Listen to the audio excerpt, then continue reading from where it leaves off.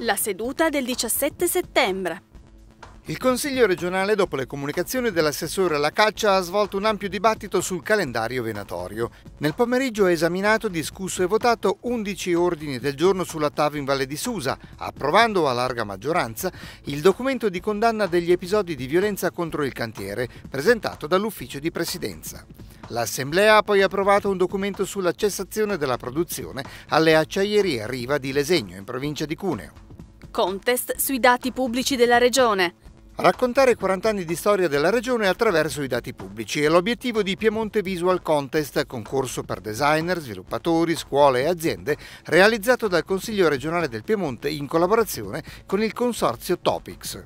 Il concorso prende il via il 20 settembre, si divide in due categorie, infografica e visualizzazione dati, e premierà i migliori tre lavori di ogni categoria. Progetto di storia contemporanea.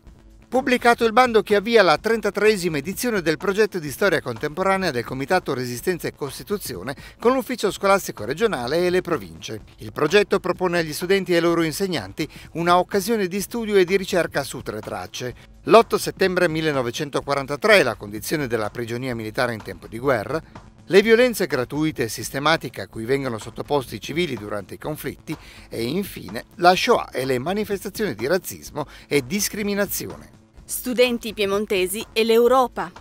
La consulta europea del Consiglio regionale ha organizzato il viaggio studio a Trieste, Lubiana e Zagabria per 36 studenti delle scuole superiori, vincitori del concorso Diventiamo cittadini europei. La delegazione piemontese ha partecipato a Trieste al Debate on the Future of Europe e all'incontro con la vicepresidente della Commissione europea, Vivian Reding.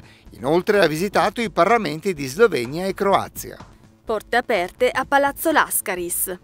Riprende l'iniziativa Porte aperte a Palazzo Lascaris, visite guidate il sabato mattina alla sede del Consiglio regionale, aperte a tutti i cittadini. Un'occasione per conoscere da vicino il funzionamento dell'Assemblea legislativa e le sue attività istituzionali. Inoltre, nella visita guidata, i cittadini conosceranno la storia e il valore artistico di Palazzo Lascaris, edificio barocco nel centro di Torino. Prossimi appuntamenti nei sabati 5 ottobre, 9 novembre e 7 dicembre.